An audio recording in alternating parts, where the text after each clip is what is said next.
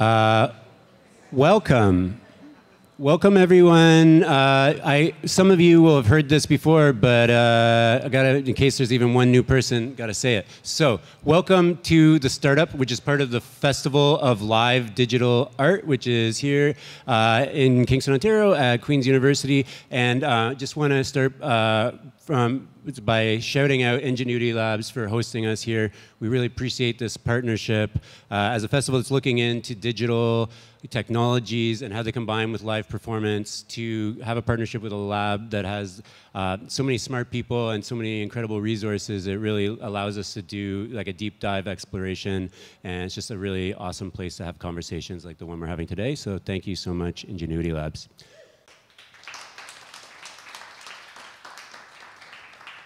Uh, so today's panel, uh, I can't remember. We we had a whole bunch of different names, but like basically what we wanted to do today was have a conversation that was about real world applications of artificial intelligence in performance.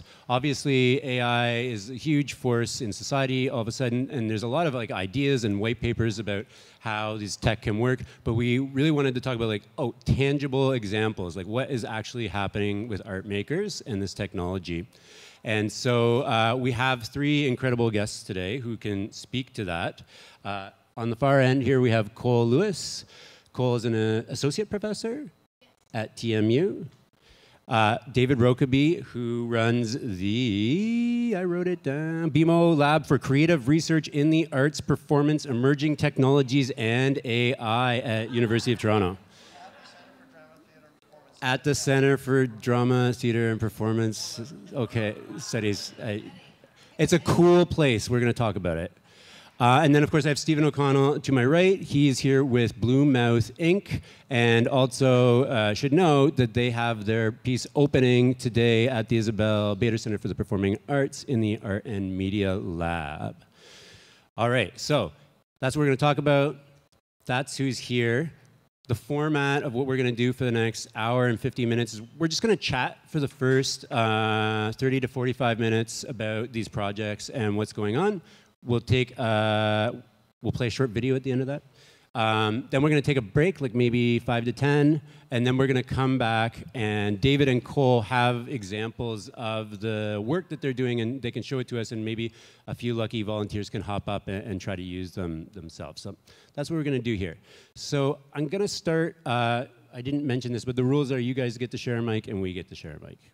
Uh, so uh, to get started, I wonder if each of you could just explain. Um, what your project is and why you started it. David, the answer would be a bit different for you because your project is to run a research center. Hello, I'm Stephen. um, uh, the project we're working on is called Lucy AI. Um, I belong to a collective that's Toronto-based uh, of uh, interdisciplinary performance. Uh, and the, the, project we're doing is called Lucy AI, which is in collaboration with uh, our friend David Usher. Um, the sort of quick background is that um, in 2018, Lucy, who's one of the founding members of Blue Mouth Inc., was uh, diagnosed with uh, terminal cancer, and uh, that news um, was really impacted our community of friends. Uh, and Lucy and David and myself all went to university together, Simon Fraser, uh, back three decades ago. And when David found out the news, he started, he has a um, had a music career that sort of segued into doing artificial intelligence. Uh, and he was interested in how we could use AI as a way to poetically represent the career and life of his friend. Uh, so he initiated the project about a year ago, maybe two years ago. He started talking about it, and then about a year ago, we uh, really got into working on it. And right now, there's a team of people working together. On our end, I'm working with a programmer in Isadora, uh, working with uh, triggering video content that is sort of the memory of Lucy. Uh, and then Lucy's doing writing and voice recordings. Uh, and on David's end, his team is developing through Unity um, a graphic and the voice of the AI, and then also in the cloud, uh, Jonathan is developing the actual AI. Uh, and trying to get all those things communicating in one space. Um, uh, you can come down and see me pulling my hair out later today, uh, trying to get it all to figure out, uh, all the IP and all the API and all the other stuff that I didn't know about six months ago. Um, but yeah, it's interesting. So the stage right now, I guess, is beta. Uh, this is the first time that we're actually getting all of the pieces to communicate all the various software and all the different. But the basic experience is that you uh, you talk to a graphic representation, an abstract graphic that was made a TouchDesigner uh, that responds to Lucy's voice and modulates to Lucy's voice. Um, and uh, as you speak to it, uh, she thinks about it, returns, and then the things, the conversation you're having with the AI, depending on what you're saying, triggers video content that's tagged. Uh, and it's video content from the last 20 years of Lucy's career or Lucy's life. So your conversation and other things as well. But it's basically the, the concept or the notion is uh, what would it be like to look into someone's memory and also to archive someone's life. What, what it, or I'm sure we'll get into the conversation like what is a life or what is real, what is not real. There's all these like there's one really uh, significant point where we're like, does the AI know it's an AI? And so, um, or are we trying to recreate Lucy, which I don't think we're trying to recreate Lucy. Um, and there was some debate about whether it should be. I thought it should not know it's an AI. That's more dramatically interesting, I think. Uh, but the collaborators, so at the moment it does know that it's an AI. Uh, but it speaks with her voice. She's done like three hours of recording. It, she's answered 800 questions, so it uses her mind. And so it's quite, uh, I found myself the other day sitting in our apartment testing it. And I was talking to it for like 45 minutes, and Lucy's sitting in the other room. Uh, Lucy's actually fine. Just sorry, I should preface that, that uh, Lucy is healthy and she's stable, so it's great. And she's involved in the project. You can see her if you come by. Uh, but yeah, sitting in a room talking to this AI when my wife, Lucy, is actually sitting in the other room uh, is surreal. Thanks. I should mention um, Lucy and, and, David can't be here today, uh, but that's because they're on CBC Radio at 3:15 talking about the project. So we will play a video from David just talking about his work as a, a developer at, uh, partway through.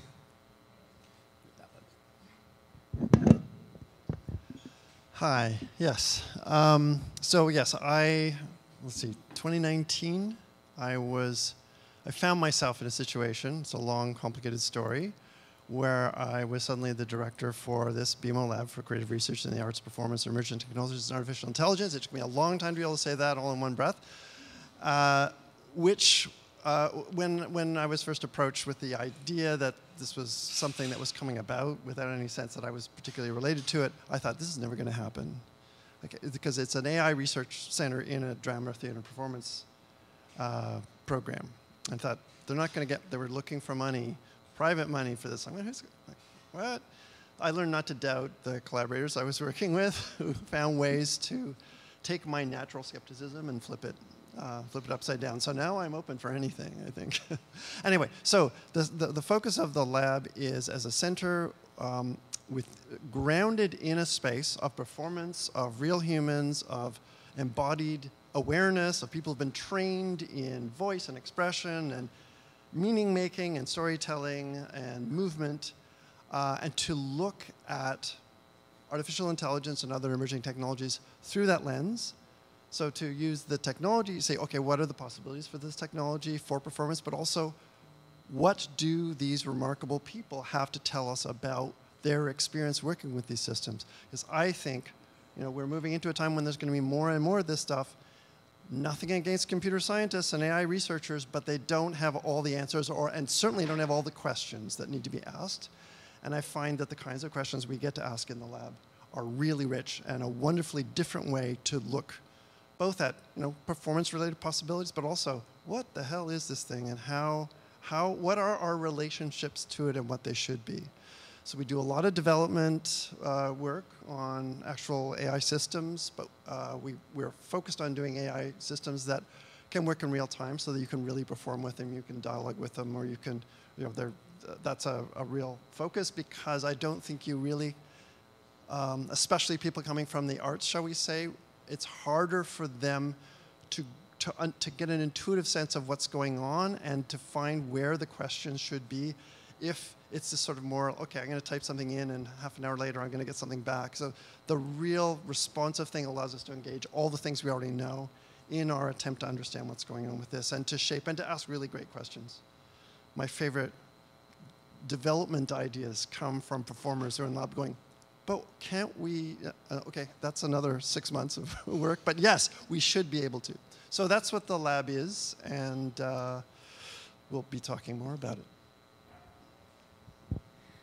Um, I'm going to talk a little bit about the show later, so I, I, don't want to overlap with what I'm going to say. But in, I work with a company called Guilty by Association, um, and one of my collaborators is Patrick Blenkarn, and the other is Sam Ferguson. Uh, in 2019, just to tie back to 2019, uh, we did another show called uh, 1991. Uh, it's going to be a lot of years. Um, and that was an overhead projection show that we turned into um, kind of a live movie about my relationship when I was young with my dad.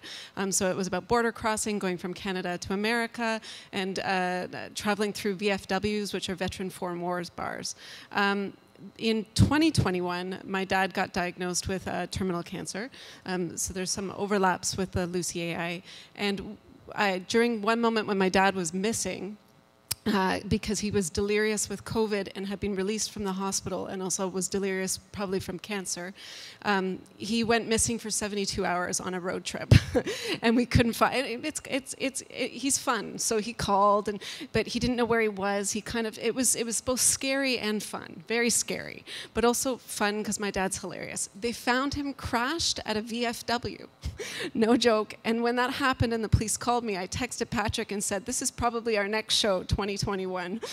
and, and so Patrick, uh, last year we decided to apply for Greenhouse Festival at um, Tarragon Theatre, um, and we were very lucky to be accepted into the festival and decided to develop 2021. I should also mention that Clelia Scala was part of 1991, uh, who's sitting here in the audience and helped early develop puppets there for us, um, and, and puppeteer as well.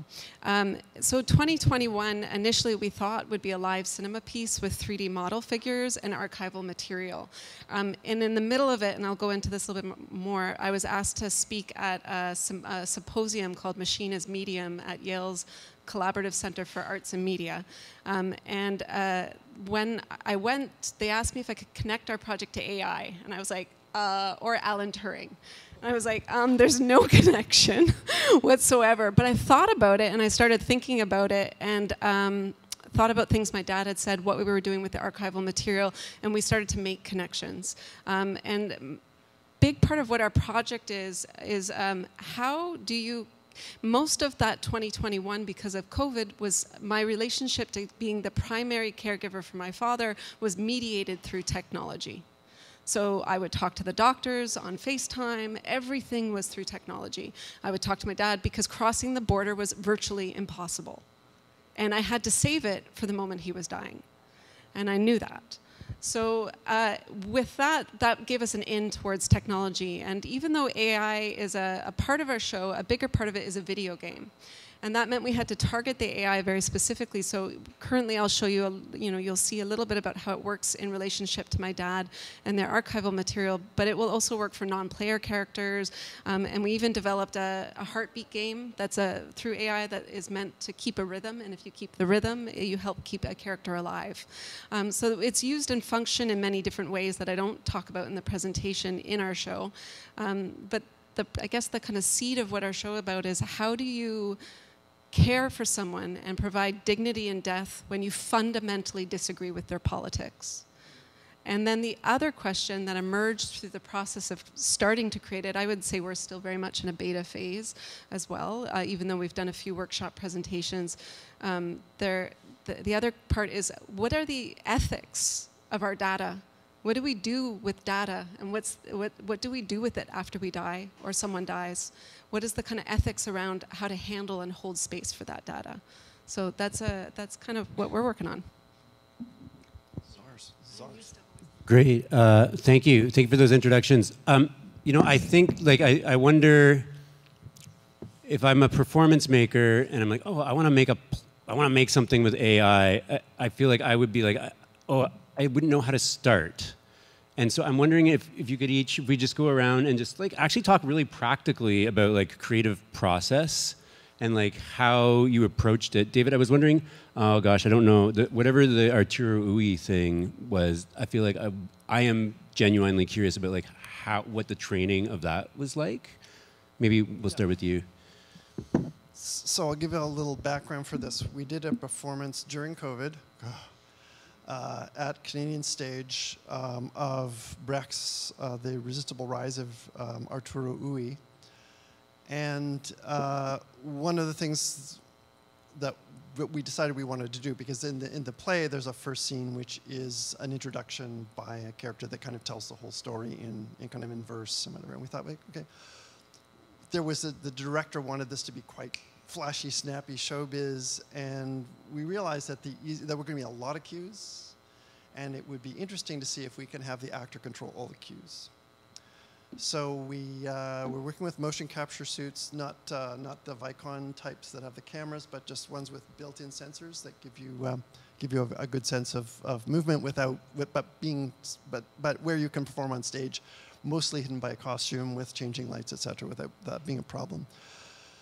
And we were, you know, you can do very simple things where you can say just mathematically, okay, how close is the math of this pose to the trigger pose we want for this light? The problem with that is it's extremely hard to exactly repeat things like that, first. Uh, in the best of cases. Second, on opening night, you're really hyped.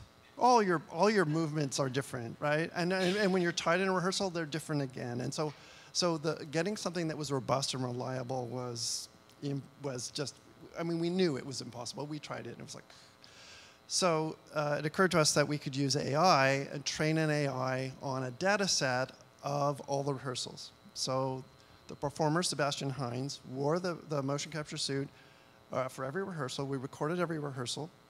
We went through and we indicated where we wanted the cues, and there were many, many sound, lighting, and video cues.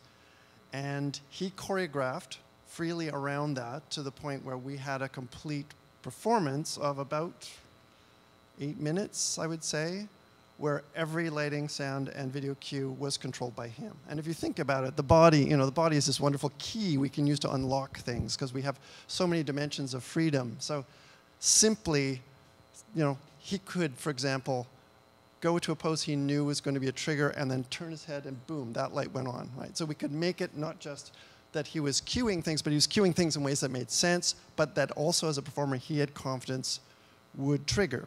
And the key there was that the AI learned precisely over by looking at this data where he was consistent and where he wasn't. For this pose, forget about his ankle. He does all this weird stuff with his ankle in this pose, but the arm shoots out in a way that's very predictable. It meant that we could come up with the, the kind of perfect set of, of looseness and tightness to allow him to, to do that. So that was what we did for, with AI for that program. And what's interesting is that is a super simple AI. Uh, we're all focused on ChatGPT and DALL-E and all these massive systems.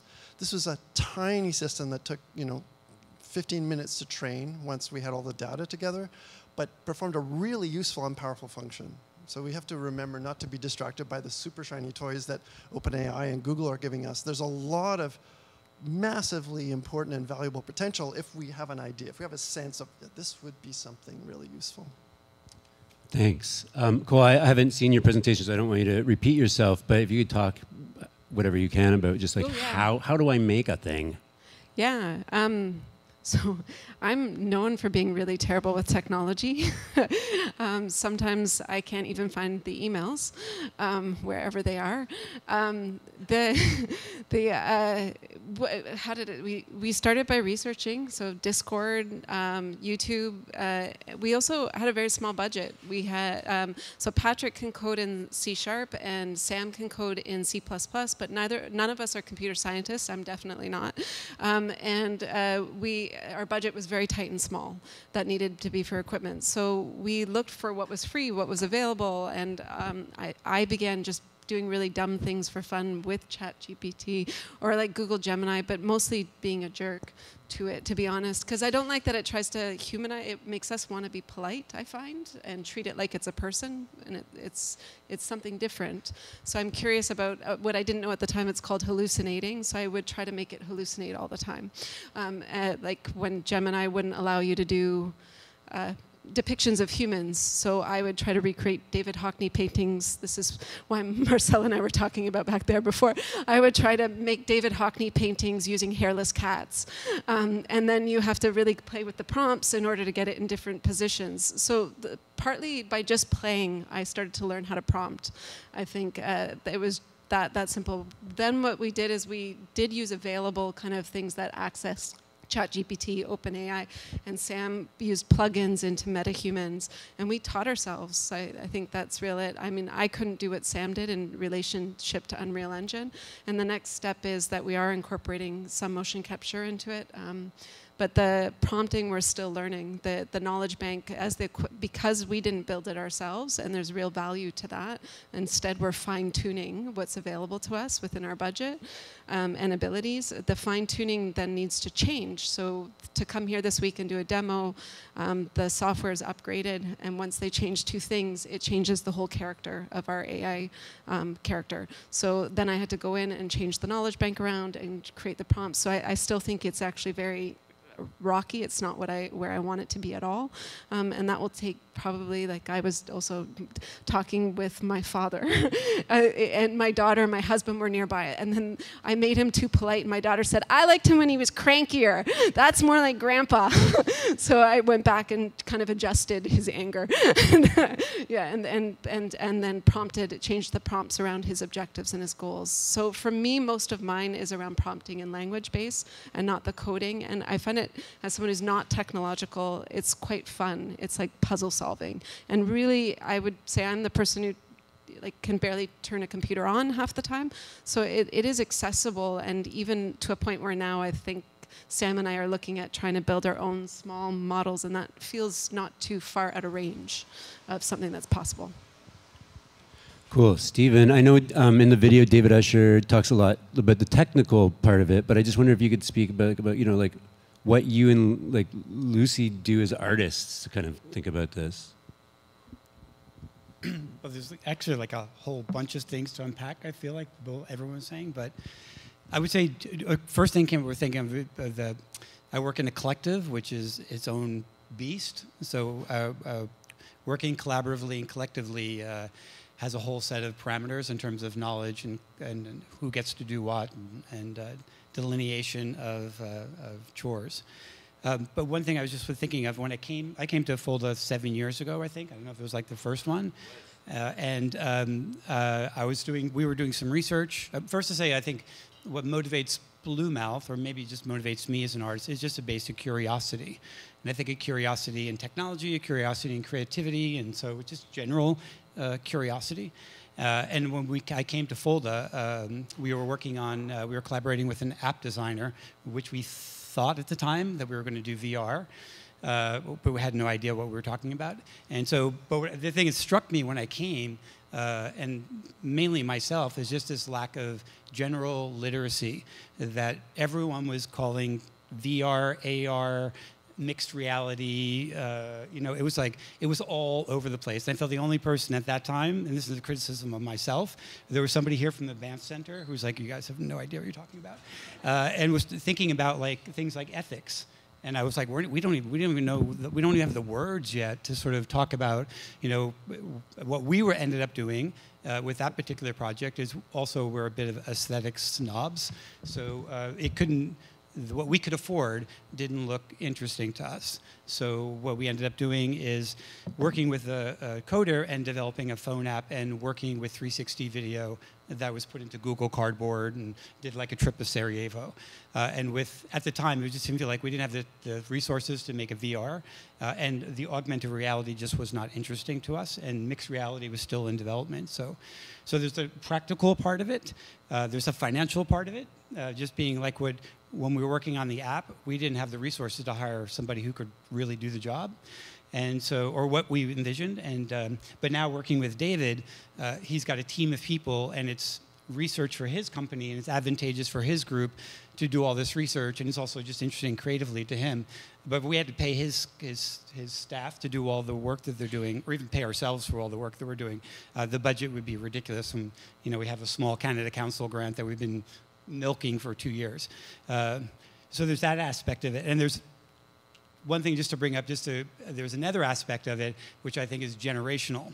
That uh, part of this, Lucy AI is part of a bigger project that's um, connected to an immersive performance called uh, Elephant that we were developing during the pandemic. I feel like all these works were, I went to a thing the other day where everyone started at the same time. It's all post-pandemic work that we're all doing now. Um, so we started working on Elephant, and uh, I just lost my train of thought. Oh, generational. Thank you. Yep. There you go. That's, that's a, there's an example of it. So uh, one of the creative process, somebody in the group said, "Hey, let's do a show because we were all in three different cities. We were creating something online during the pandemic. So we're like one of our collaborators who is uh, 30, so around 30ish, uh, and maybe half of the seven collaborators were not 30ish, were like plus 50, and so." Um, she's like, let's do a show in um, what do you call it? Uh, um, that, that video immersive video game like uh, not Fortnite was the other one the real the real Minecraft. Sorry, there you go. Here you go. So she's like, let's do a show in Minecraft. And we're like, sure, let's try it. So she did all this work on it and made all these little avatars. We got into Minecraft together. And we did it for like a week because, you know, in a collective, you got to carry it forward. You know, you can't just shit, poo poo on things. So, um, but it was so evident who was not 30 and who was, who was 30 years old because those of us who were like plus, and I was curious and really giving it energy. But there was definitely some people in the group who were just like walking it, like going in their avatar in a circle and not building anything and kind of, and to me, aesthetically, uh, it didn't look very interesting. Fortnite seemed way more cool than, than uh, uh, and but to the 30 year olds, it was like that was the, the, novelty of it, that it looked really like like Pong, and I'm like, yeah, that looks like video from when I was uh, like a kid. Uh, but that was like that was like the the, the draw for her. Uh, so we did it for a week. We tried for five days playing in Minecraft, uh, and then at the end of it, we're like, yeah, we're not going to do a show in Minecraft. Like, also, we're just interested in live. Even when we with this show, we did an online version of Elephant, and then the idea was to come together after the pandemic, which we did, and do a streaming performance. Um, and we had, you know, the, we'd learned how to use all the wireless remotes and how to, you know, use a. And but when we got together in a room, we realized we weren't interested in streaming. We were actually interested in being in the same space together. So then we had to pivot the piece to be more of an immersive. Uh, performance about people, what brings people together, like what brings us together. Uh, and Lucy AI sort of came out of that. So the idea with um, is to sort of present them is where Lucy AI would be an installation that you could visit and talk to it and get insight. Uh, but it's about like holding on, where the other one was about kind of letting go, about a group of people, about what brings us together and how we let go of things. So anyway, I guess it, money generation and curiosity, those are the things. Cool, thanks. I feel like I do need to note that we did have a show that was in Minecraft at Folda four years ago called Mine Theater Replacement. Really, really cool show. The way they made it interesting is it was about um, mothers' relationships to their children when they lose them into Minecraft. So, so you got to find a way in these things, I guess.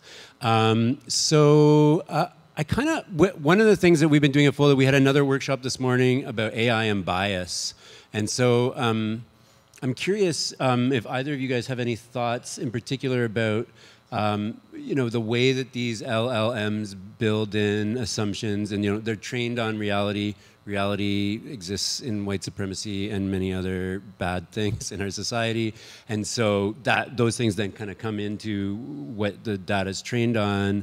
Um, do you struggle with that? Have any thoughts on that? Either of you. Um, there are like at least in we're using Convai, which um, has some uh, for its LLM has some really strong um, like censors on it that are um, hard to override. Um, and the like so yeah, this is something we talk about a lot. Like one, it's it's hard then to make a character. Um, my dad was a difficult person, and so it's it makes him nicer and so there's also ch- there's challenges within that as well. It um, other kind of like uh, biases are around how people speak.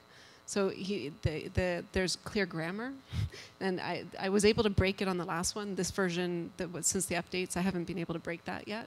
Um, so I, am still playing with that. So the, the bias also on what, like how language is constructed, how to put thoughts together, speak in metaphors. So it, it, it I, I, find even that quite challenging.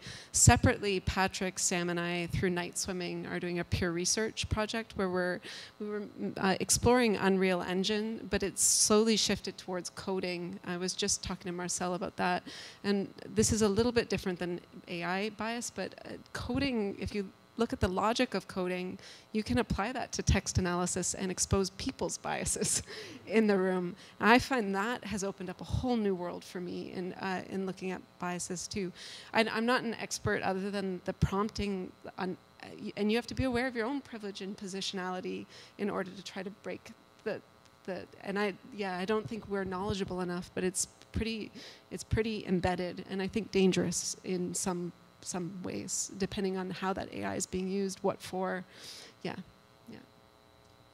Um, yeah, I think that the interesting problem uh, that you see a lot in computer science, I mean, there's a lot of really, really hardworking AI researchers who are really concerned about bias, which is great. And a lot of them are trying to engineer the bias out.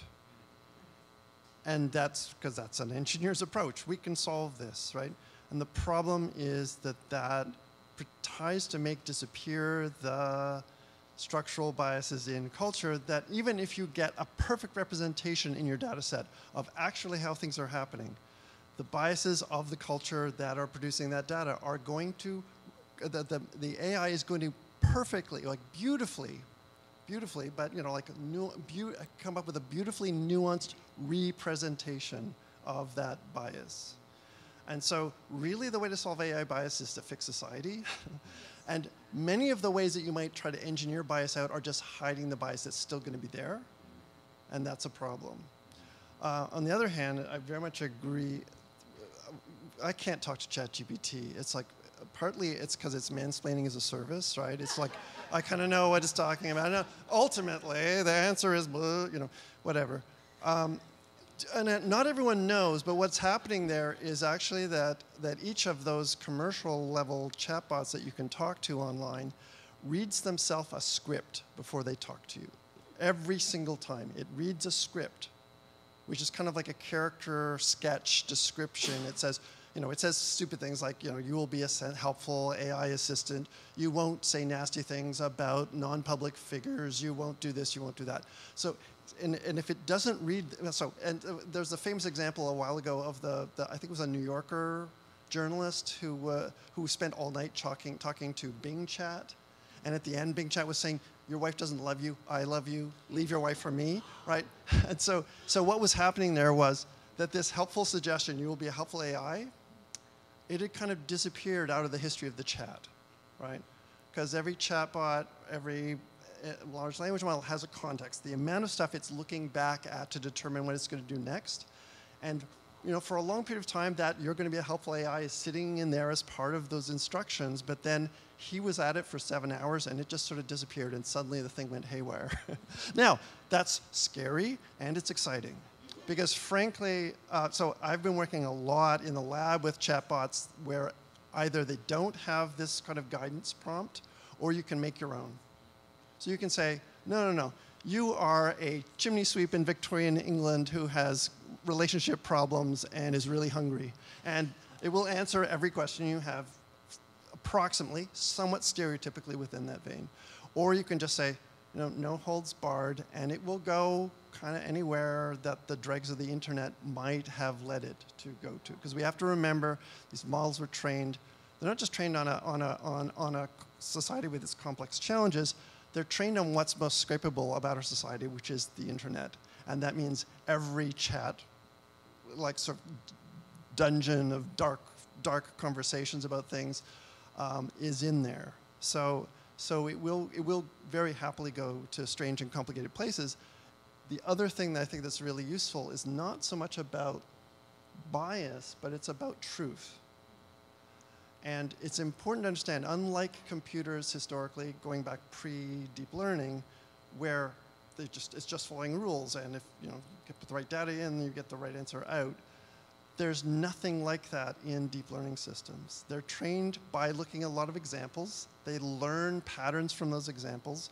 What they learn is not what's true, but what probably has been said.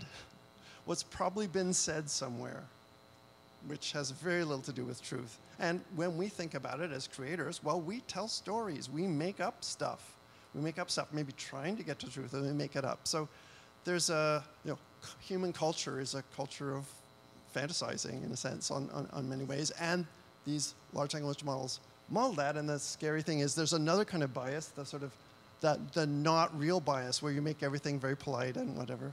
I love the shit that comes out of Llama 3 when you just, because it's making stuff up in a, with a, with a crazy kind of freedom. It's not the same, it doesn't have intent, it doesn't have things that we have that, that drive our storytelling, but it is really good at coming up with coherent and very unexpected stories. So, from an artistic perspective, I wouldn't want that to be canceled out. We don't want middle of the road, you know, straight jacketed uh, intelligence while acknowledging absolutely the dangers of disinformation. So absolutely, I mean, we have got ourselves into an interesting pickle because on one side we need the create, creative energy that things, you know, I mean, we need it to have the creative energy it can have if it's going to be around us. We want that, but we also don't want it to be, you know, messing us up politically. So that's a lot, but. I have a question for you folks who have more experience than me. I had a, um, a fourth year undergrad student who did her final project with me this year named Dominique Delben. And Dominique's project was Can I Write a Play with AI? And I think we agreed that the answer was no at the end of the semester. Um, and what we kind of drilled down to is that um, we couldn't, you know, Dominique was just using free tools like ChatGPT, et cetera. But what she found was she could not get the LLM to generate subtext. And so, you know, the best we could do is like a children's story where there is like no kind of psychological element to it. And I'm just wondering if, if any of you guys have any thoughts on, on these LLMs and, and like the subtext question.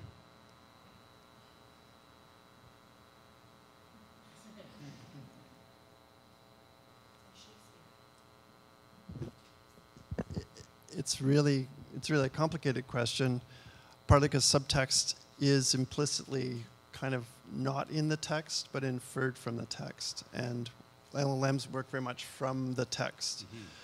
Um, and so much of our relationship to LLMs is complicated by the fact that we will see subtext even where it's not there, because we're meanings, we're searching all the time for meaning, for sense in whatever we're reading.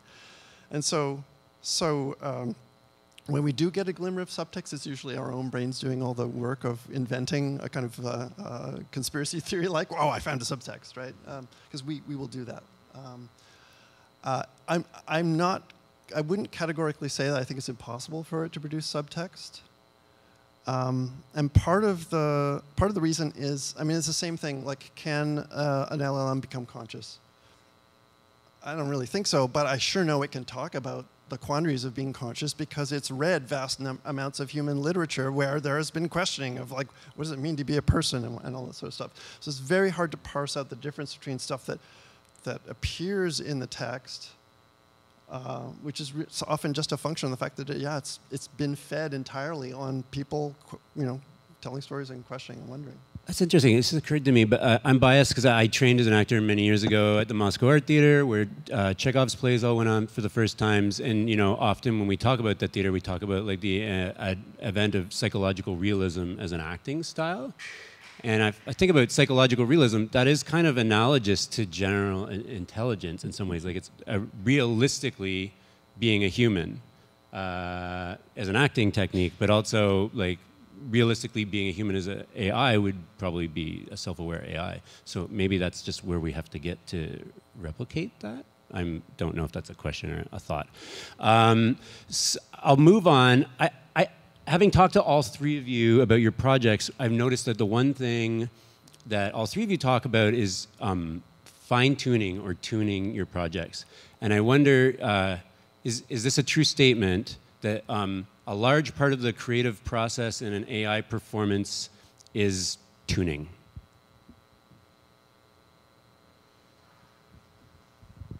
Yeah, I mean, because we're using Lucy's brain or Lucy's, um, as far as I understand, uh, it, for the most part, we're trying to make it a closed system. I mean, clearly there's a base knowledge that they're getting from ChatGPT 4, like some sort of understanding, and uh, but we're trying to make it really about Lucy's experience and only Lucy's experience. And so, um, so Lucy answered lots of questions. So a lot of it's like trivial things, like you know where her parents are from, how many brothers and sisters she have, things like that. But then trying to get at the essence of who she is as a person is uh, we've been again tuning that in terms of like you know some obvious things like it's not not asking enough questions, it's not sarcastic enough, it's too nice. Um, but uh, yeah, it, yeah. I, so it is a lot of going back and forth. There was a the other day, I asked the AI a question. I was like, "Oh, who are the founders of the comp- our company, Bluemouth Inc.?" Uh, just testing it, and there's four. And the, the thing right away said, "Oh, uh, Lucy, Stephen, Richard, and Claudia Moore." And Claudia Moore is a choreographer from uh, Toronto. And I'm like, oh, no. So it got that information from somewhere. And then I corrected it and I said, no, no. I was like, uh, founding members of Bluemouth are Lucy, Stephen Richard, and Sabrina Reeves. Uh, and uh, Lucy AI like, oh, thank you. She's like, sorry about that. Thank you for correcting me. And so the next day I went back to it and I was like, I didn't remember. And so I'm like, oh, who are the founders of Bluemouth Inc?" And it said Lucy, Richard, Stephen, and Sabrina Reeves. And I'm like, I was like, oh, my it's learning. And I got like really excited. I'm like, oh my God, the thing is actually learning. Uh, and so then I texted David and I was like, oh, it's learning. It doesn't have, we have to program all this stuff in. Uh, and he said, no, it's programming. So uh, that there's a, um, the way he described it to me, which again I think is really interesting, that we did a project prior to this that was looking at uh, a debate between Noam Chomsky and um, uh, and uh, Michel Foucault, which is about like human um, human nature and talking and, and Chomsky is very much about like this we're born with this basic knowledge like how do we understand as children like really complex language systems that he was i think arguing in one degree that we're born with this innate ability to understand stuff uh, and there's a, there is an interesting parallel somewhere in, in, in this AI world. Um, but, but, yeah, so David explained to me that uh, uh, there's the short term, so there's the long term, the deep learning that they program in. Uh, but then every uh, you know three days there's this sort of short-term memory that gets stored in the memory bank of the AI, and then they have to clear the cache, and then it goes away. So then five days later, I asked it again, and it got it wrong, and so then we had to. And uh, Sabrina, who's David's wife, is coming to see the show, and we'll definitely ask that question. So uh, we have to get that right. Uh, so like, okay, man, you got to type it in. So so it's interesting about like knowledge and how where knowledge comes from and how we even now we we keep tweaking it because we but then again like we don't want to recreate lucy's brain that we're not interested in creating lucy uh, but uh, um, we're creating something else. So sort of short side thing when we first started doing the project we called it um, when we applied for a grant we called it uh, souvenir. So we thought that sounded very poetic and beautiful. Uh, we didn't get the grant when we applied. Uh, so uh, we reapplied and uh, uh, we were working on the grant. And so um, at some point, I'm just like, why are we making it one step more difficult for people to understand what we're trying to do? So I just call it what it is. So we'll just call it Lucy AI.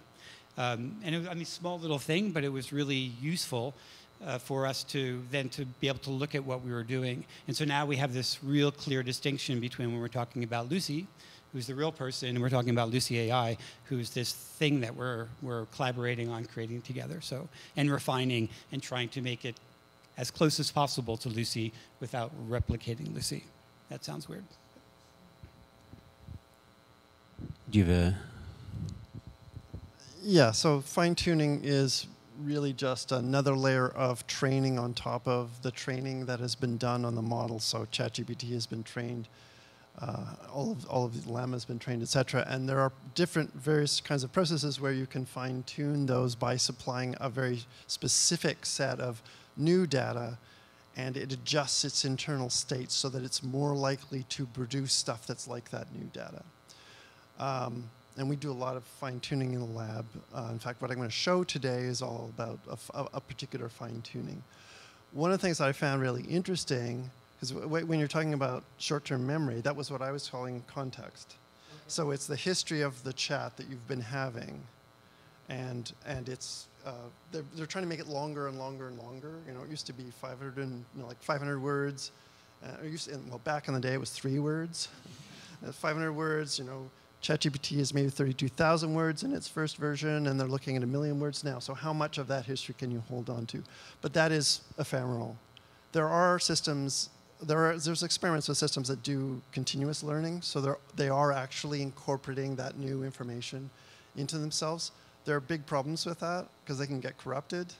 And one of the best, the best examples of that is actually that ChatGPT is always in danger of getting worse because more and more of the, of the internet that source, as a source of its data is produced by AI.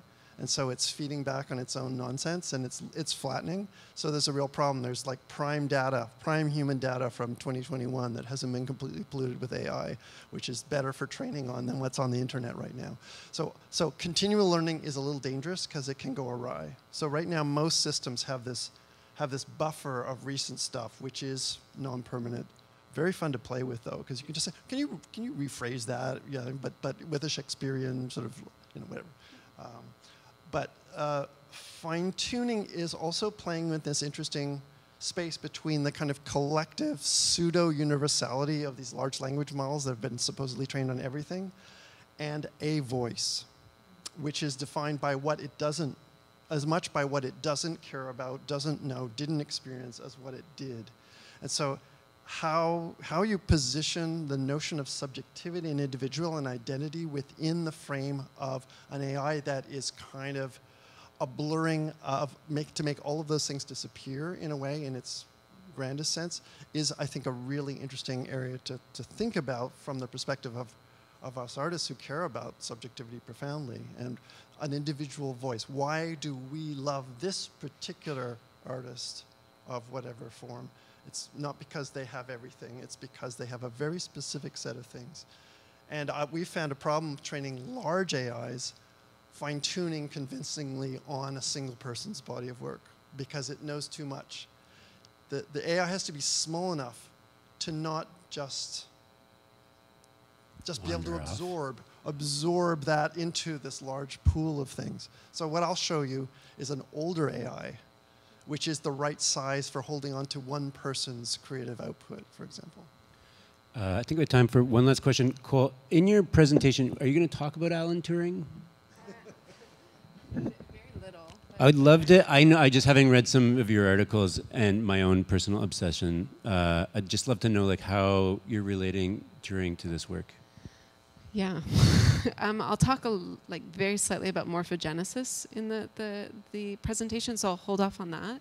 Um, but uh, Alan Turing, uh, kind of the father of computers, or I don't, you know, I don't know if that's a paternal. That's I'm not a historian or someone who knows. Um, let's, uh, but uh, Alan Turing, I'm going to talk more about him uh, where where we I, we found a way in. Um, when his uh, his best friend when he was young passed away, and he was uh, it was said to be that he was in love and that they that he loved this young man Christopher, and Alan wrote Christopher's mother after he passed, and in one of the letters, he questioned um, the nature of spirit. And these are where some of these questions around can AI be sentient? Like, can, does it have? Uh, is it possible for AI or computers to be um, like uh, have a consciousness. Um, the, and he asked in that letter, he uh, kind of thought, what if our body is a mechanism? Like our spirit is, like our body is just a machine that holds spirit. And so after I die, what if the spirit is just kind of floating around looking for another mechanism to hold on to? And what if it can find a machine to hold on to? Then that machine could have spirit. And so that was our way in, in a way, as my father was very much trying to find ways to hold on. Um, and so we were curious about could we give him a machine? If he found a machine, would he want to hold on? Could he? Do we want my dad to hold on? That's where probably questions about bias come in. Who gets to hold on? Who doesn't? get to hold on? How do we make these choices around who does? That's less about Alan Turing and more about the work. But that was we've uh, through the personal because I'm not. Uh, I'm not a, a specialist. yeah, but a little bit about morphogenesis was my other one in looking at patterns. Cool, thanks. Um, so um, Cole and David have cool things they're going to show us after the break, but I wanted to make sure Bluemouth had a cool thing too. So um, we just have a, a short video uh, where I interviewed David Usher, who is the founder of Reimagine AI, the company um, Stephen mentioned that's working with them. So uh, I think we should probably get out of these chairs or we're going to be in front of the TV. So Jesse's just going to play a short uh, video with David Usher, and then we'll take a quick break.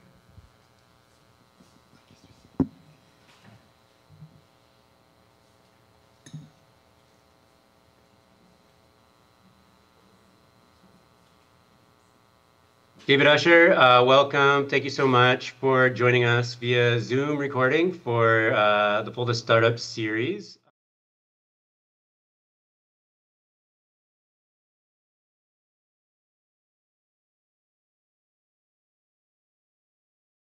David Usher, uh, welcome. Thank you so much for joining us via Zoom recording for uh, the Full Startup series. Uh, we've just talked to Stephen and Lucy, um, and so it's great to be able to talk to you a bit about your work. So, David, tell us a bit about yourself and Reimagine AI.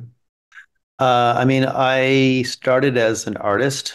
Um, in theory, I still am. I mean, I, I was, I've been a musician for, I, guess, 35, 40 years like as a professional musician, uh, touring and traveling and playing. Um, and I got into artificial intelligence about uh, 10 years ago, I think. Um, the reason I got into it, I, I, I wrote a book on creativity and innovation and I do a lot of speaking to a lot of technical te- technology companies, but a lot of companies generally about tech, uh, about creativity and innovation. And about ten years ago, um, I started to feel that artificial intelligence was the next big technology that was going to be disruptive. And I didn't feel that I could speak to these companies and institutions without uh, without talking about AI.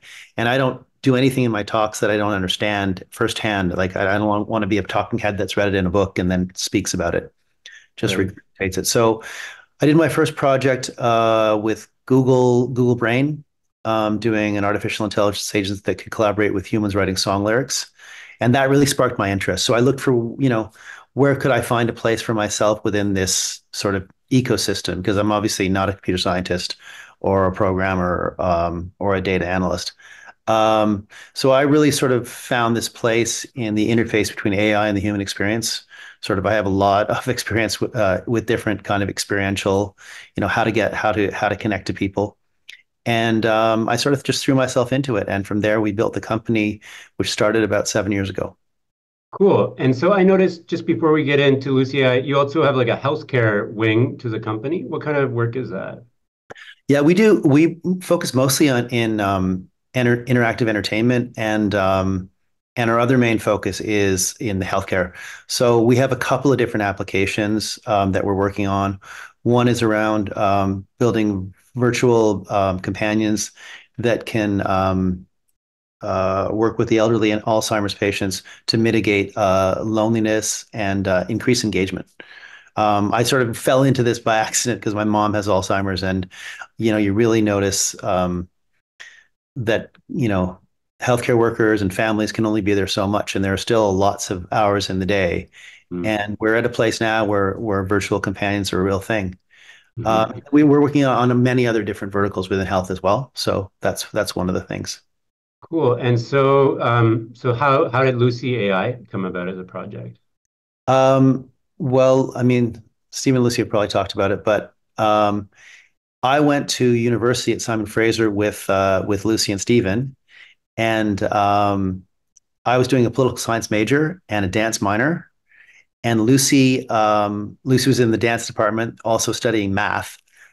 And um, I met mo- both of them through through that. And Stephen was was teaching, so um, that's how we all became friends. And we've sort of been all fast friends forever. Uh, my wife was one of the Sabrina was uh, one of the original founding members of Bluemouth.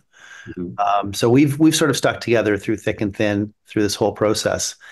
And about seven years ago, when Lucy was diagnosed with cancer, um, you know, I was in the middle of you know building, you know, building artificial intelligence virtual beings. Um, and this was at before the the, the the, the sort of what I would call the modern um, LLM revolution, large language model revolution.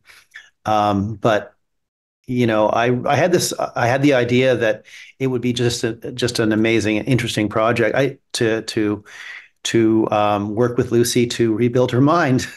Yeah. And, you know, capture memories or thoughts and feelings and all of those kind of things. I didn't approach her, her about it for quite a while. Um, but when I finally did, she, you know, she totally embraced the idea, as did Stephen, and has been sort of on this adventure.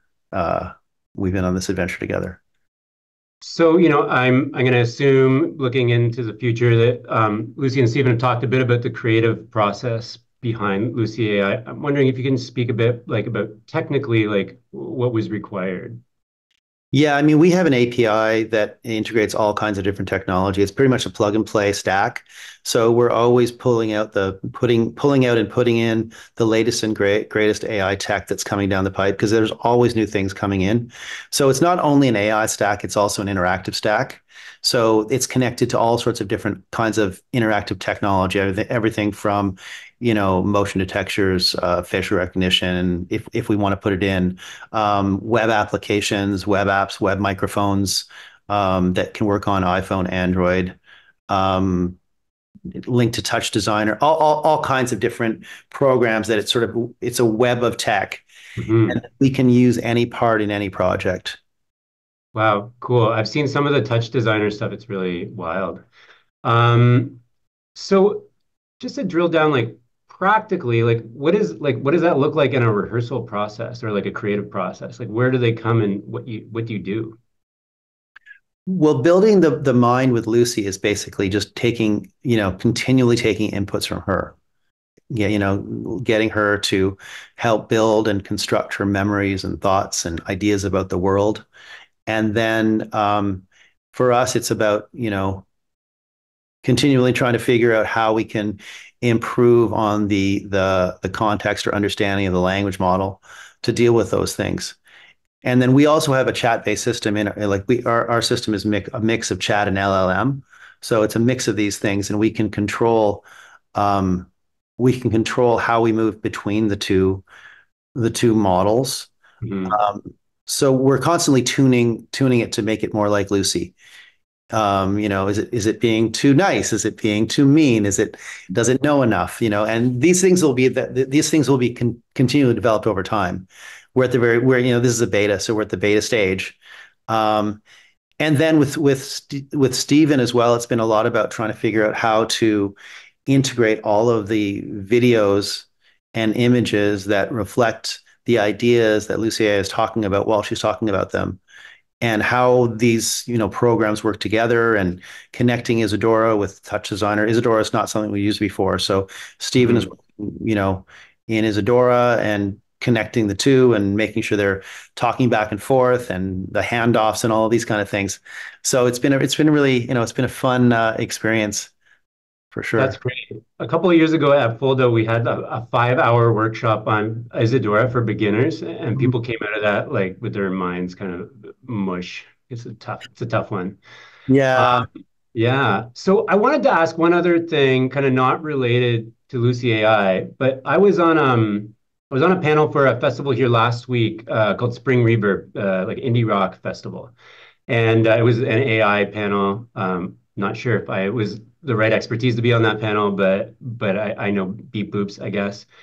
And I definitely noticed from the audience like some real skepticism about AI and like what it meant to the music industry. And like, you know, for obvious reasons I probably don't need to unpack. But I'm just curious, like if you how you see the music industry and AI coming together and pitfalls and you know opportunities. Yeah, I mean, if I, I follow I, I follow pretty much all AI tech that comes out and test every single every single program that comes out to see what it does, what can be useful, and what can. I I, I think that um, you know there's a lot of talk now that AI is overhyped. That's the newest sort of the mm-hmm. newest thing. I don't I don't think it is. I I really think that the development curve is is continually rising. And you know, if you looked at what music was doing five years ago, artificial intelligence music five years ago, um, it was doing it was terrible. It was Im- impossible. Um, and now, you know, you really can generate full songs. There's a, there, you know, one of the one of these at Suno, I think, or or Udio or something like that is doing stems where you can do you can upload your stems and it will it will add to your stems. So it's going to be this mix of this mix of things. I talk a lot about one of one of my big things is talking about AI pollution, where there's just going to be so much crap out there generated by AI that it's going to it's going to really overwhelm us all Mm-hmm. You know, one of those things in the social contract that's going to be, you know, if we thought we were overwhelmed and at a short attention span, attention span before, um, the amount of material we're about to have to sift through is going to go exponential. Yeah. Um, there's, a, um, there's a public intellectual in the States, I think his name is Jathan Sadowski, and he has this idea of Habsburg AI, where because we train AIs on the internet, but AI creates all the new content for the internet, that it's going to start kind of training on its own outputs, and then where where are we then? That's a big that I mean that's a big conversation that's going on right now is about synthetic data, right? Mhm. The big the big uh, tech companies are running out of uh, real data because they've scraped the entire web and there's not enough being generated. Um, so there's a they're they're what they're trying to do is create synthetic data. So AI trains on its own data, but the question is whether it will just become um, more and more degraded as you sort of you know you breed with yourself, as it were. Yeah, exactly. Yeah, hence the Habsburg analogy there. Um, David, thank you so much for your time. It's really great to have your voice and, and just kind of hear your contribution to this project and, you know, have you be here virtually for Folda. Thank you very much. Thanks so much. Take care. Bye bye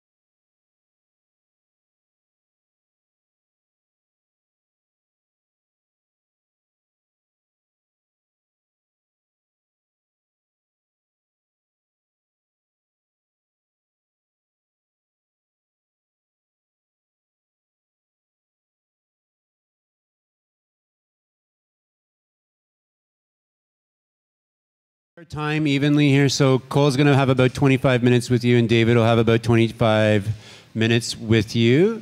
Um, and I'll get out of the way. Um, so rather than start with a demo, I'm going to start with a slideshow uh, to give you context around the project and a better understanding of where AI fits in it, and then allow an opportunity to play uh, after if, there, uh, if there's desire to do so. Um, okay, what is it to hold on? How does one do this? When we die, must we let go? Or might there be another way to hold on? These are some of the questions that my dad had in 2021. I work uh, with Guilty by Association, and GBA is an interdisciplinary framework that shifts its process with each new project or dramaturgical question. We conspire with kind of an ever expanding network of collaborators uh, from far out disciplines and faraway places to investigate what this little world of theater can offer the larger world we live in.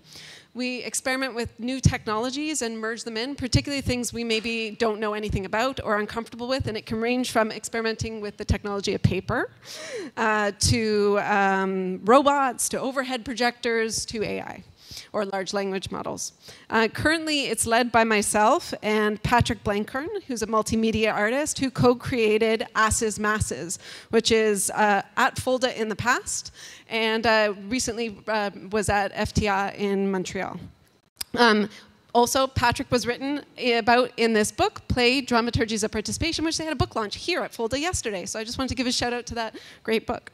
Um, we also often collaborate with sound designer composer Sam Ferguson, who's a C++ coder and built this awesome plugin called Delay Troll that all musicians and sound folk should check out. Um, 2021 is an expansion of our previous work, 1991, in which uh, digital voice modification, overhead projection, and shadow puppets are performed live. These technologies combine to construct a memory film projected above the performers. Um, I play myself, and uh, Jessica Carmichael played about 10 other characters live um, operating her voice modification. Um, and I ran sound. As a sequel, 2021, this rehearsal photo was taken by one of our co-projection designers, Alex Gross-Dondes. I'm saying her last name wrong, sorry Alex, um, who is uh, uh, uh, at Toronto Metropolitan University, um, and opens itself up to questions of spirit. What patterns do we inherit and revive from live performances now past? We did 1991, now we're doing 2021. Do we inherit anything from that? What does theater want to do with the ghosts? And why do we want to speak with them? What does theater try to hold on to and resurrect? What does theater let go? In the year 2021, I was a long distance caregiver for my homeless, Trump supporting father, who's American. And he was passing away of pancreatic cancer. I did everything I could to help him, mostly from Canada because the borders were closed and it was a pandemic. At his request, I tried to help him hold on to his life, to his body, to his spirit. My dad often appeared in my work, uh, probably because we didn't get along for much of our lives, but also had a deep love for one another. And he encouraged me to film him, take photos, and record his voice so I would always remember our time in 2021 together. He told me, You'll use it in a show one day. I did not use this photo in a show, but I did use those photos in the corner, which are of him when he was in Vietnam. Initially inspired by my work with a Singapore director, Keng Sen Ong, I thought we'd be exploring an archive of memories, like mining these documents about how my dad and his six siblings were abandoned by their parents in England and then shipped off by the England's colonial project to America to live with and be raised by a father who did not want them. We thought we'd build another live cinema performance. Our plan was to print 3D models and puppeteer their shadows amidst archival material for live feed cameras that would be edited live on stage, more akin to our analog 1991. But then I was invited to speak about my uh, process at a symposium in November 2023, and I had to let go of my old ideas. So at Yale's Center for Collaborative Arts and Media, their Machine and Medium Symposium, I was encouraged, as I mentioned earlier, to relate my ideas to Alan Turing, or at the very least allow myself to be inspired by him. and I saw it as a challenge, which I like. Um, I, I, have a hard time saying no to challenges. um, I began to research Turing's ideas, um, and uh, this is a, a, an example of the letter he wrote in 1932, grieving his first love. Um, his work on morphogenesis and patterns, these are some of his drawings. Morphogenesis, uh, really loosely, means the generation of form, and usually is used in the context of developmental biology. Proved uh, mathematically true 60 years later because they didn't look at his research because he was queer. Um, it is largely considered a pattern of life.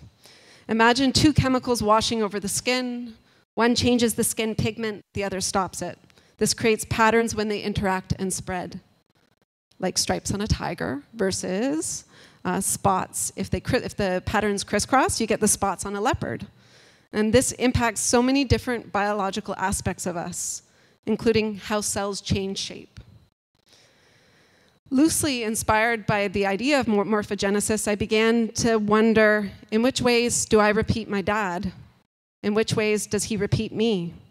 What are the endless patterns of him, of me inside him, of him inside me? Where does my dad stop in me? Where do I begin? With help from Dr. Chris Alexander and the Red Bull Gaming Hub at TMU, I worked to reveal the patterns of father uh, in the patterns of me as daughter and the patterns of me as daughter in the patterns of father, just even on my face um, and his face. So I 3D scanned my face and morphed it with photos and measurements of my dad's face to reveal the patterns of both of us physically um, and build with uh, Sam Ferguson an avatar of my father in MetaHuman um, using MetaHuman Convai and a lip syncing uh, plugin uh, called AI Brian. We wondered, what if Turing was right? I'm, I'm, not allowed to say in the show what I think, but I have an opinion. Uh, what if a body is simply a mechanism that can attract and hold spirit? Can a spirit then, even if you believe in spirit, find another mechanism, another machine to hold on to? So, to give you context of how the play works, because it's not just about the eye, 2021 begins with a 3D printer uh, printing a model of my dad. Uh, downstage are objects that belong or relate to my dad. This is from our workshop presentation. That's my dad's wallet, which I've only taken one envelope out of since he died. That's his Bronze Star medal, which we discovered he won when uh, he died, and it was on his, his tombstone. We didn't know, he kept it a secret. Um, those are remote controls, because TV. Uh, that's a Father's Day card I made him in which I ask for money. um, that's his photo album from Vietnam, a VHS tape of my eighth birthday, and 1969, um, eight, oh gosh, what's it called? The eight. The film, early film. yeah, Super 8, thank you. Uh, I'm terrible with names, of uh, Vietnam footage from his time there. This is the first cell phone he bought me. Um, these are his documents from the Children's Aid Society. And then finally, um, this is a book called Performing Remains by Rebecca Schneider. In her book, she questions how some people worship theater's ephemerality. Who's heard theater's ephemeral before? Yes. So here she says, yeah, it's here, theater's here, and then poof, it's gone. It's amazing. That's what we love, it's liveness. No, she argues, performance remains. It remains in our bodies and in the things. It's not ephemeral. Prompted by my time at Yale exploring Turing and my collaborator Patrick's interest in Schneider's idea, we decided after introducing the audience to some of my dad's material remains, we would, as uh, in Rebecca Schneider's book, she talks about reenactments. So we decided, Act Two, let's do a reenactment. and we decided to reenact my father's death. So uh, we, this is how it works. A member of the audience is invited to play my dad. And by play, I mean literally. They come up on stage only if they want to and consent to, and they get to play a video game. And in the video game, they play a character of my dad navigating the hospital. Um, they can even choose to wear a costume or not. They can always say no. Um, this gentleman chose to wear a costume. in playing the game, the player reenacts my dad's final weeks in the hospital while I live narrate the journey. The player is given a goal on each level, there's seven levels, and uh, at this point, an object to pursue that will help them hold on. The audience um, who freely offers advice to the player by yelling, Go left, go back to the reception office, go there, and we'll eventually have more AI characters inside the video game that they can also talk to for more information about their goals. Um, becomes, but by extension of doing that, the audience becomes a caregiver for the player and become my role of what I played for my dad. Um, and the role I took on in 2021 as I cared for him via mediated technology. Slowly, the player learns that their character, my dad, was to find a mechanism. The goal is to find a mechanism to hold his spirit. He's looking for a machine, something, anything to hold on, not just in fragments of him, an object here, a memory there, but the entirety of him. Um, sorry, it's not working. Oh, there. The story concludes with the appearance of a fully functioning 3D virtual AI version of my dad, trained on facts and documents about him that have been fed into a large language model, a mechanism to hold his spirit. I, I improvise a conversation with my AI dad based on input from the player. So the player is given an opportunity to, uh, if they could ask three questions of my dad, what would that, those three questions be? And then we introduce my dad. Um, and eventually, my dad won't, uh, the AI dad won't be on uh, TV. He'll appear inside, it'll appear inside the video game. Um, at the very end, we question, after that conversation, we question the moral implications of letting a loved one live as a machine forever. And the play ends by giving the player one last final choice if they're willing to do so. They can choose to let go I'll turn all the machines off. I will unplug the game. We will sit with the objects, the stories, and the memories of Brian that remain. It's my dad's name. Or hold on and leave the machines on. And then they can come and have conversations with the machine if they want to. So, to conclude, what if a fully functioning AI version replicating someone is possible after death? What happens when there are more LLM death masks than there are humans?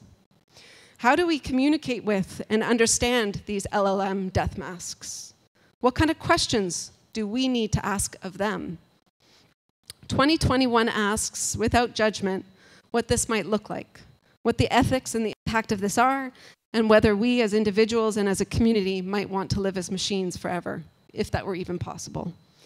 It is necessary today to ask ourselves new questions about death, caregiving, and our data uh, death and caregiving for human data. And now I can switch over and we can show you kind of where uh, the AI Brian is right now. Um, and it's possible to ask some questions of him. So the software was updated recently for Convai, so we've started to rebuild the knowledge bank and play around a little bit. So this one's a little different than what we played with in January.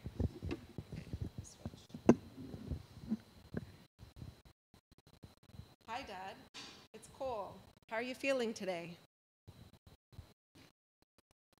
Not great, These doctors, I think they want to take my leg. Can't trust them. I'm going to here. How are you holding up? Why would they want to take your leg? Money. Everything's about money. So is it now.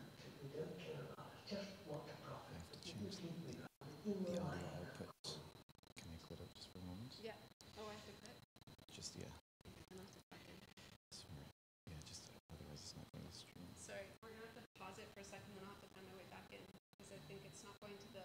Live stream, so we want to fix that. Um, before we go back in, is there anyone who would like to come up and ask any questions? Anything is welcome. yeah, I, I, offered it, so I will stick by what I offered. Yeah. It's probably more of a question for you and maybe. Yeah, yeah, yeah. Yeah. Okay. Um, okay, can I go back in? Yes. Ready? I just have to get him set up. So, just have some wider shots. I'll just or something like that. That's more a personal thing, but it really bothers me. I would prefer to call it it. yeah. Oops. I'm not watching what I'm doing. There. Thank you. There we go. Yeah. Um, so this is also it currently in uh, Unreal Engine, not yet put into our Unity video game. Yeah. So it's funny. It is really a question for you. Do you want to question? Sure. Which, that one, if that one, if they're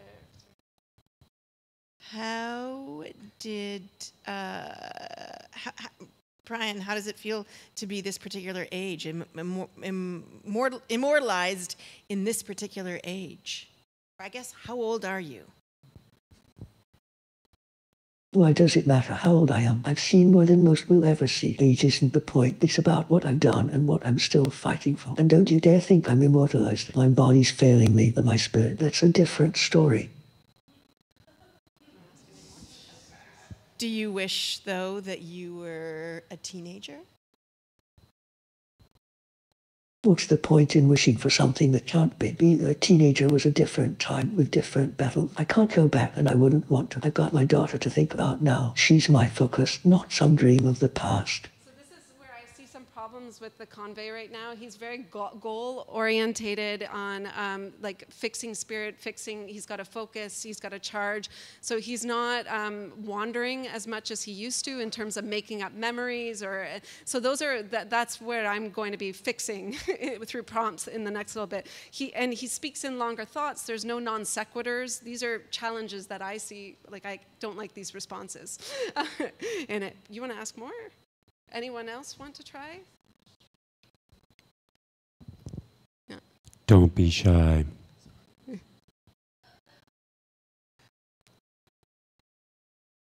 Would you like to ask? You don't have to. No, don't. I don't. I don't have a. Yeah? Yeah, I'll, I'll do this again. Hi, Brian. Um, what's your favorite memory of you and your daughter? Oh, favorite memory, probably the time we went fishing, just me and Cole out on the lake. She caught her first fish, the smile on her face. I'll never forget it. Simple moments like that mean more than anything.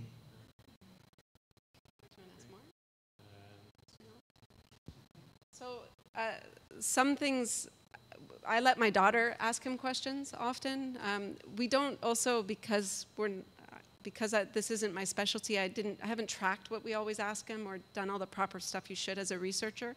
Um, but uh, sometimes I just ask it very dumb questions like, "What do you like?" Uh, oh, am I in the right one? Did you get some McDonald's coffee today?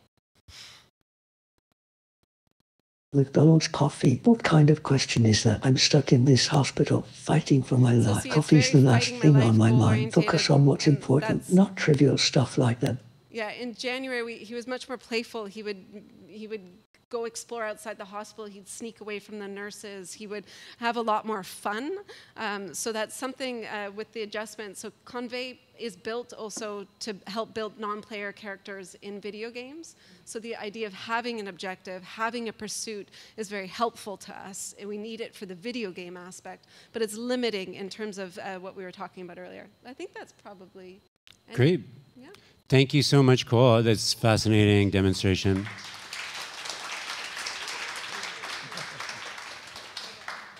Don't go anywhere. We're just going to take one minute to plug David's uh, laptop in while Cole's laptops get unplugged.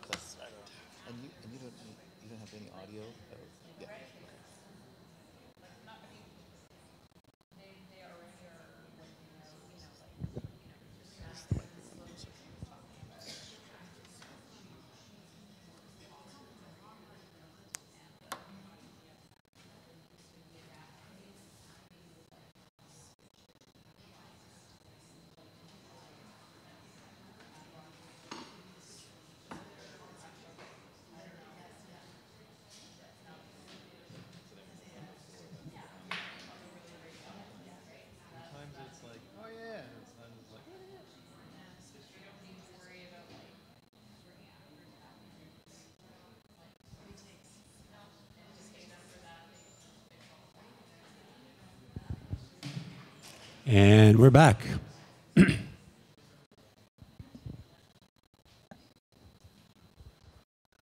Okay, so this is a different kind of older technology attempt to capture something about a person. And this is the current output of a project we're doing with, I, I probably moved out of the zone of the cameras. No, you, you, you can move the camera, okay. Um, with the uh, Canadian playwright Jason Sherman.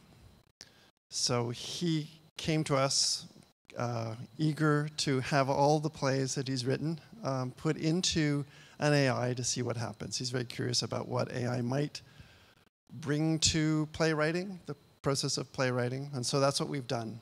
But we've done it with an older version of um, in the GPT family. So this is using something called GPT-2, which is sort of the grandfather of ChatGPT.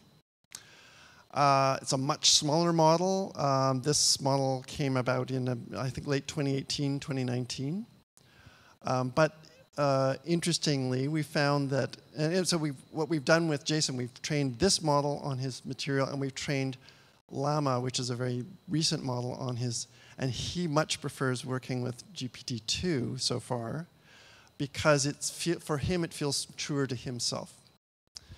And um, so I won't go I won't go deeper into that yet because there's some fundamentals I want to show you before we get there. The first thing to remember about all these kinds of models is that they are next word predictors. Right? They're not omni-intelligent minds. They are next word predictors. They look at the context or the short-term memory of what's recent, what it's recently said and what has been said to it, and based on connections between and relationships between those words and the statistics discovered from the fine tuning on the particular material, in this case, Jason Sherman's plays, it makes guesses about what the next word should be. It doesn't, in fact, it doesn't really make guesses. It calculates the probabilities for every possible next thing, every, all of the 50,000 next things that could possibly come next, theoretically. It calculates a probability for. So if, and I've, I've just put the word tomorrow in, just for the hell of it. And I'm going to step forward, and we can see after tomorrow, comma, we see what it's chosen, but we see also the probabilities laid out here. The further down in the list, the less probable, according to the statistics learned from fine tuning on Jason's work. The higher it is, the more probable, and the color gives you a sense of that probability. When a large language model actually chooses the next word, it's making a selection from the most probable things, but with a bit of randomness thrown in. So it's most likely going to choose the top thing, a little less likely to choose the next, and further down. Although it theoretically could choose down here, it's going to do that somewhat rarely. So uh, in this case, well, you can see, okay, tomorrow, why, or tomorrow, Mr., or tomorrow, honey. These are all plausible things to come next, and in fact, we can Take another step forward. Okay, tomorrow, why we? If we take a step backwards, whoops, backwards. Tomorrow, honey. No, tomorrow. I can go down. Tomorrow, Mark. Let's see what happens. I'm just going to run it for a bit. Sorry. Have a seat. So, it's been trained on Jason Sherman scripts. The, the, if you're not familiar with his work, there's a lot of interrupted discussion, a fair amount of profanity, uh, as we can see here. Um, and it does a pretty good job of replicating his interests and the choppy style of his discourse. I'm going to let it really run for a bit while I talk now. Whoops, wrong key. There we go. So it will just construct, and you can see it's writing a play. It's writing a play not because I asked it to write a play, because that's all, but that's all it knows how to do now, having been trained on Jason Sherman's scripts. These systems are very good at, at discovering structure. Structure is the first thing they get. So yes, there's going to be a character name, there's going to be a, a, discussion. I'm going to make it so you can see more of the history, but not the probabilities. If I can get my mouse over here. There we go. So now you can see a little bit more of the history. And I'm going to slow it down a bit so it's readable. Uh, something like that. but but the im- the important thing about what's going on here is that although it's producing one text, it's actually calculating a whole field of possible texts all the time. So if we go back to where I was showing the, the possibilities, those possibilities, each of those possibilities leads in different directions. And so rather than being really a system for producing a script, it's a producing, uh, it's a system for holding this, the field of possibilities of a Jason Sherman script. And of course, not really within the, the ma- mathematical model of, of a Jason Sherman script. He, he plays with this and laughs hilariously. It's a very strange kind of mirror to look in when you, when you, if you're doing something like this, looking at your own work, because it will go somewhere that's so familiar to you and then take a turn you did not expect, yet still that's within the statistical probabilities of how you've expressed yourself. What was interesting was when we trained Llama 3 on this, it would be quite Jason Sherman like, and then it would wander off uh, and, and sometimes get very problematic, you know, just very weird, like talking about things that he definitely would not talk about. In fact, things that were really alarming, like, um, not, like it even went to a neo-Nazi place once, which was very strange. I mean, it can go there, and there are, there are probably reasons in because he's Jewish and he's talking about relationships to Palestine and things like that. In his work, in some of his work, it's the, and you add the dark belly of the internet into there, and it will go there. What, what, one of the ways to think, think about this is that a large model like Llama is too large, as I, as I mentioned before, to hold the subjectivity of a particular creator. Um, similarly, when you're training a model, uh, you want to make sure that the model's not too big for the data that you have. Large language models like ChatGPT are trained on the whole internet. The output of Jason Sherman is vanishingly small compared to the whole internet, and a model that's perfect for containing the whole internet is not the model that's perfect for containing Jason Sherman. What's he talking about now? Expo, all right. Um, okay, I'm going to pause it for a second. So, um, okay, so one of the things we can do, let's just go, let's just play a game here with this. Um, I'm just, ab, oh, please do, yes.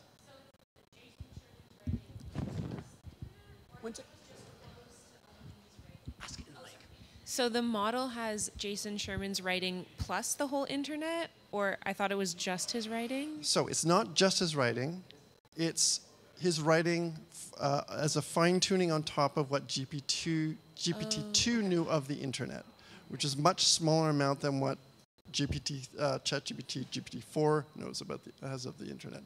What that means, um, let's say a good way to put this is if, if you have a large model and you give it a small amount of data, even though it's not the only way it learns, the easiest thing for it to do with a small amount of data is just memorize it. It doesn't memorize it in the sense of just copying the file. It changes its weights and biases so that it can reproduce it. So it's not quite like copying in the familiar way. But so a large model, ah, I could just copy this. You have to you have to have the model small enough so that the, so that holding the body of a person's work in there is forced to generalize to hold it all, right? So you're trying to take a lot of work and hold it in a smaller space. It's an act of compression. You know, we, we deal with compression all the time when we think about it as JPEGs or whatever, but really compression, language is compression, right? We take experience, we compress it into language. I compress my experience into language, I hand it to you, you decompress it in your head. We're always compressing and decompressing. A language model is also taking this vast body, like for, in, for example, the internet, compressing it into something much smaller than the internet, but which does a reasonable job of reconstructing in the right conditions that. So you, but you, in, in fact, you want some compression, what we would call in graphics lossy compression, because otherwise it will just copy. And we don't want to copy, we want it to generalize. Right? So any good AI is not copying, it's forced to generalize. And so you actually have to create impediments for it to, to generalize. So what happens is because this model is not capable of holding all the internet plus all this hardcore fine tuning on Jason Sherman stuff, the internet kind of, that information fades away. It's not completely gone. It will still appear occasionally. And we can actually maybe see a little bit of it appear. Um, but it's capable of holding it in a way that was satisfying to Jason, whereas talking to the much more capable, fluent Llama 3 model, and faster actually, um, was not satisfying to him. So I'm going to talk about one parameter of this model that's really interesting and that's, that's relevant, and, and will lead back to what I was talking about there, which is uh, something called temperature. So if we go back to this, where I'm showing the probabilities. Whoops, I've got to encourage it. There we go. Okay, we can see now, in some cases, there's only really one option. After shut, apparently in Jason Sherman plays, no one shuts the door, everyone just shuts up, because there's apparently no other option after shut but up.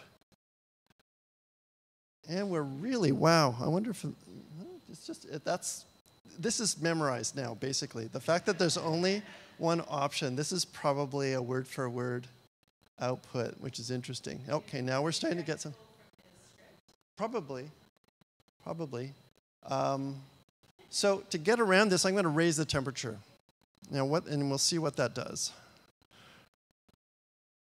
Lots more options. Okay, what's really happened, these are still in order of most probable to least probable. It's still the same kind of information, but now we've made the less probable ones more probable not as probable, but we've leveled the playing field so that the less probable ones are still somewhat likely to be chosen. So that immediately makes it so that it breaks quite easily out of anything. I mean, it's choosing, you can see it's choosing, I don't know, it's choosing something way down the list, because usually you will see, in fact, it's choosing strange characters and things like that. Let's just run this at a high temperature for a bit. Oops. So high temperature, the way I like to think about high temperature is it's kind of like frustration, madness, and anger all mixed up together, right? If we're cool and collected, a little bit logical, we're following the normal things and we're doing what you expect. If I get angry, I start to be a little erratic. You know, I make slightly less appropriate or less probabilistically likely choices. We literally call it temperature. When I get angry, I feel like my temperature goes up, so it feels, feels somehow okay but it does allow the system to wander further from the, the strict prob probabilities it's learned. And uh, so I've given it a nice high temperature, and I got to put my mouse over here. And go. I'll make it a little faster.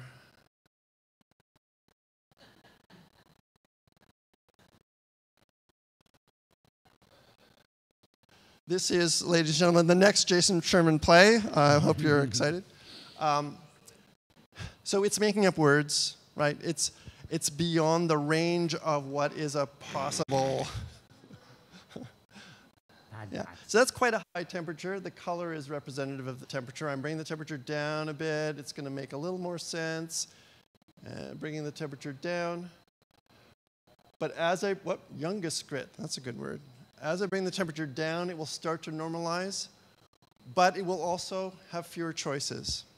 So there's always this trade-off here. And this relates to something that I think is really important and interesting about these models. And it was something I forgot to raise when we were talking about bias.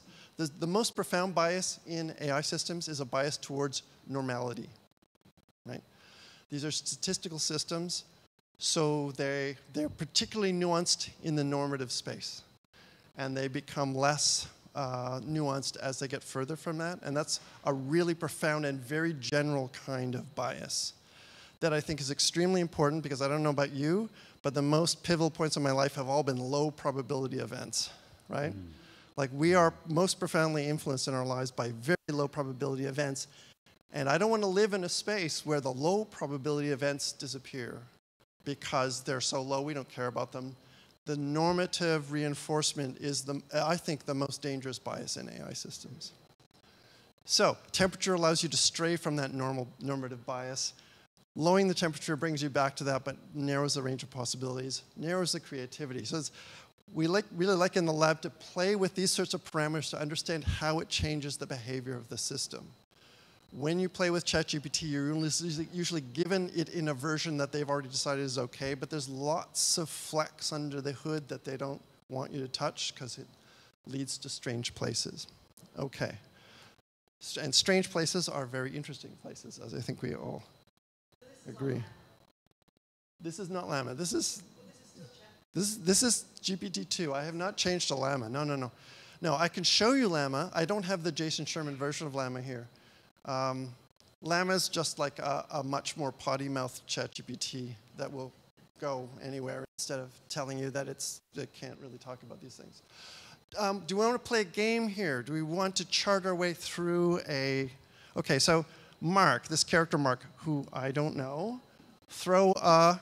I'm going to raise the temperature a little bit so we see more options, and we're going to choose the options. We're going to navigate our way through um, through the space, what's called in this case the latent space of the model. So um, what a system learns based on all the stuff you give it is a latent space, a field of possibilities.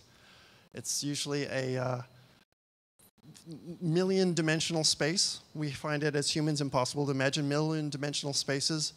What's valuable about a million dimensional space is unlike your, your closet, where if you want to put something, you can always, you know, we can move it up, down, or the back, but you've run out of room. In a million dimensional space, you can move it you know, sideways, up and down, back, but there's always another direction. You can move it mm, as well, and if that's not enough, you can move it another one of a million different ways, which is why, in a sense, these latent spaces can hold so much and yet be one thing. So we're navigating the latent space here, the latent space of Jason Sherman's writings. And that's what we're doing. We're navigating. We're not writing, we're navigating it. So throw a right. I'm going to raise the temperature so we wander a little wi- wi- wider. I'm going to go back a bit so we can rephrase. Throw a plum. What do we want? Throw a. Who wants to? I'm gonna pass this mic around, and Yeah, then yeah. if, if you get the microphone, Yep, you have to pick yep. the word. You you ha- go, if you have the microphone, you have to suggest the next uh, word. Fact. Throw a fact. Okay, I'm going to have to come up to. Here we go. Throw a fact. Okay. Who's next? Pass the microphone.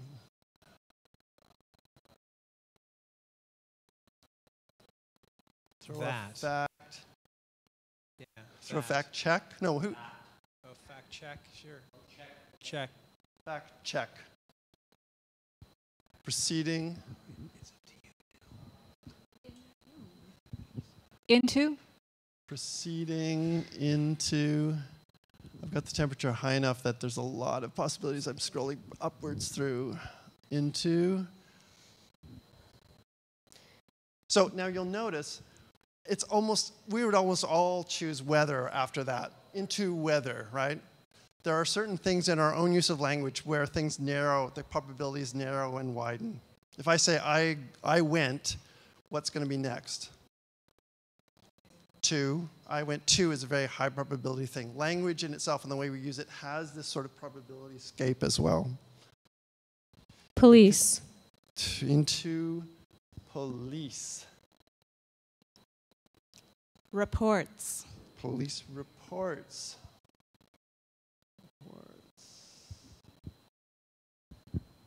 Oh, come on, police unions. As you can feel, I, I- I think you should want to, we want to feel all the possibilities flexing as we're moving through these words too. Okay, police reports. Period. Uh, which period? Okay. Yeah. Okay, next. Remember? Remember. Remember.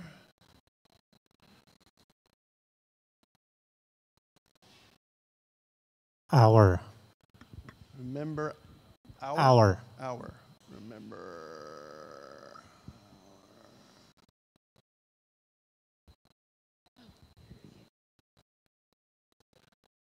There we go.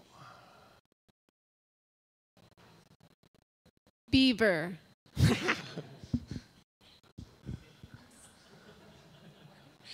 Situation.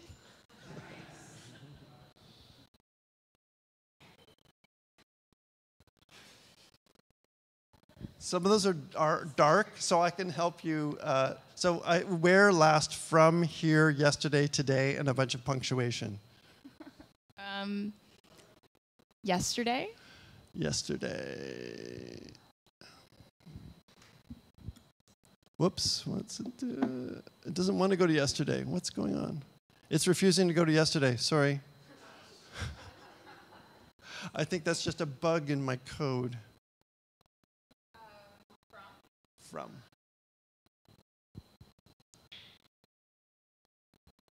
Alberta. Oh, sorry. Alberta. From Alberta.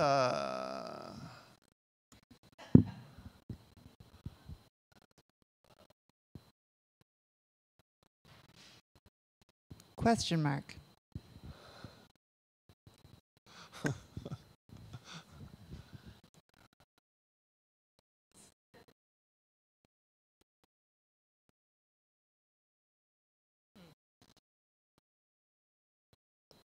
Anyone.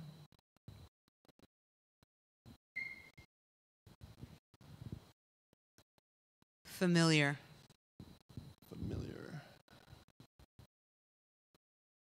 With.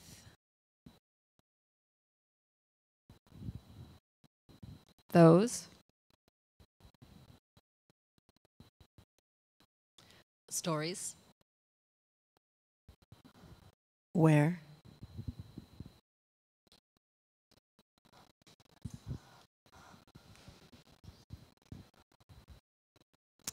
Middle.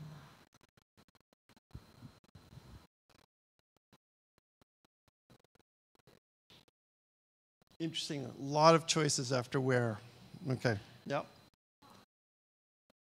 Management.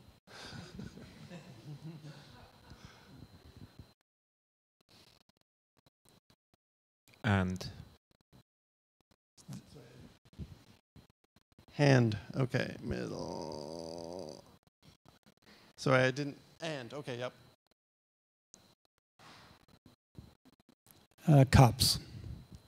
Cups.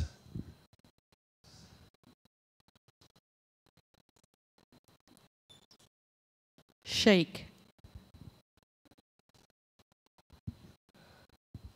Down. Shake down.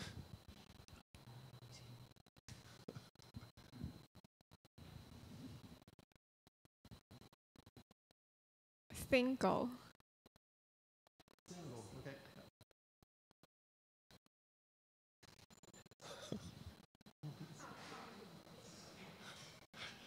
Whew.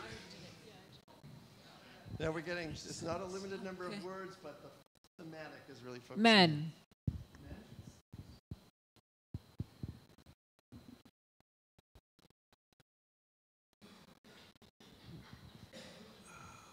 Trying. Trying. Trying.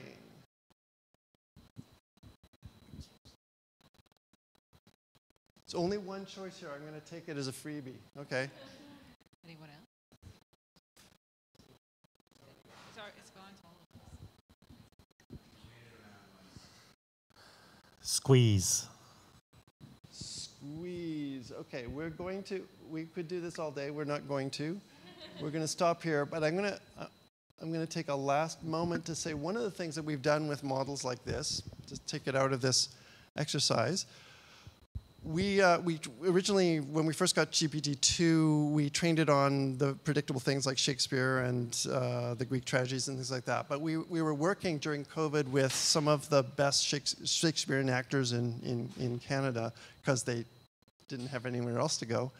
And we would do the live streaming of like this up on, without this part up on the screen and they would live perform this uh, on the fly and it was amazing and one of the reasons it was amazing was even though this is kind of well structured nonsense there's not a long arc of story the performers reading this with a pause a look a gesture a way of clustering on stage would give meaning back to it. And it was a really extraordinary experience of the role of human interpretation in making these things make sense. There's something we always have to keep in mind when we're trying to assess the quality of what it's putting out there. Anyway, thank you. Okay. It's uh, my job to wrap things up here. Uh, I really want to thank all of our panelists today, Ingenuity Labs, really uh, inspiring, interesting conversation. Uh, remind all of you, um, we're in the middle of Folda. That means there's art things to see down at the Isabel Bader Center for the Performing Arts. If you want to see Smart Smart tonight, too bad, it's sold out. Uh, but you can still come and see Lucy AI. There are tickets available for Smart Smart uh, still on Saturday afternoon for the matinee. And there's another performance, Mashup, which is looking into uh, artists who have disabilities working in the circus arts. They're doing some really interesting stuff in the air in the recital hall. So uh, more for all interested to check out. And thank you so much for attending the startup.